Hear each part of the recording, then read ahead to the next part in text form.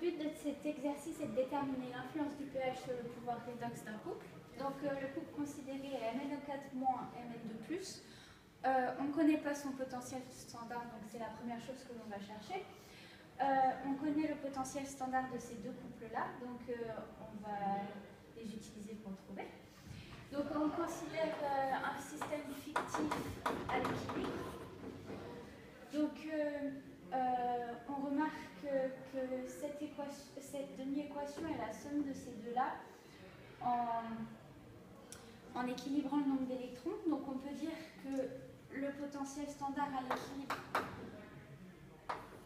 de la première équation, 5 fois, pardon, euh, est égal à 3 fois le potentiel à l'équilibre de la deuxième équation, euh,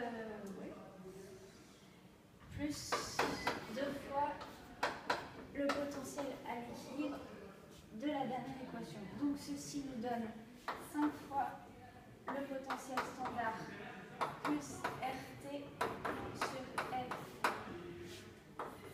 log de la concentration en MnO4 fois la concentration en H plus puissance 8 sur Mn2+, qui est égal à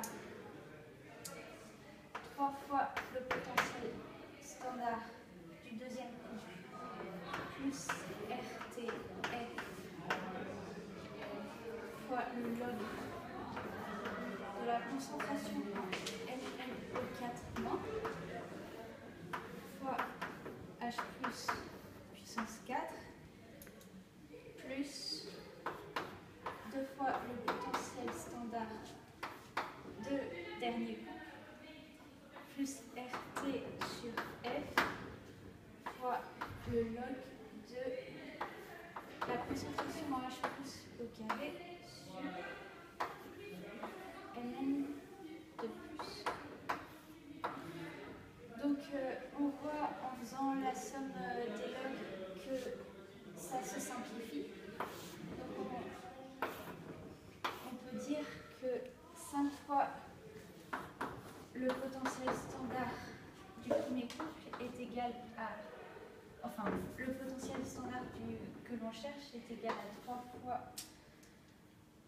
ce potentiel standard plus 2 fois l'autre potentiel standard divisé par 5 et après application numérique on trouve 1,512.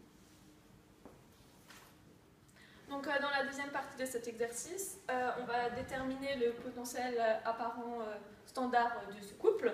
Donc on sait que le potentiel standard apparent, regroupe le potentiel standard et un terme qui dépend du pH. Donc on va partir de la relation de Nernst qu'on avait écrite précédemment pour ce couple et on va remplacer le logarithme népérien par le log. Du coup, on obtient le potentiel standard de ce couple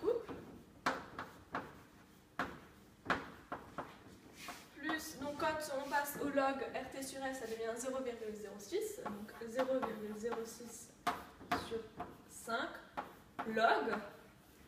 Et on sait que ça, c'est pareil que euh, log de MnO4- sur Mn3+, plus, euh, plus log de H plus à la puissance 8.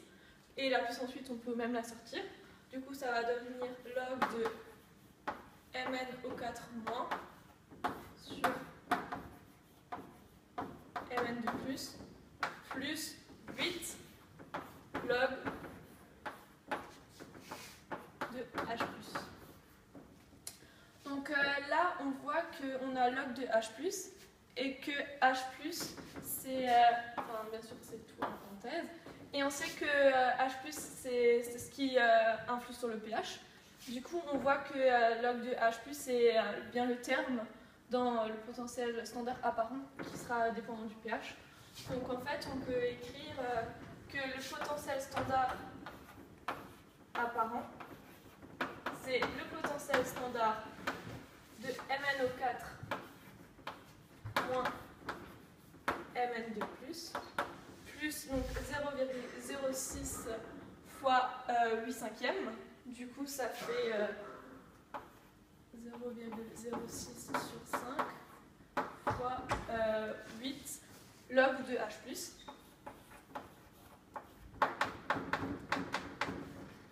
Euh, le log de H+, c'est euh, moins le pH. Du coup, on a c'est égal à E0 MnO4 moins MnO+, moins, à cause de ça. Euh, tout ça, ça fait euh, 0,2. 0,096 fois le pH.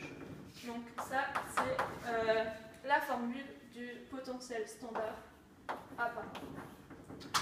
Dans cette formule, euh, on voit bien que quand euh, le pH diminue, le potentiel standard apparent il augmente et du coup le pouvoir oxydant du couple augmente.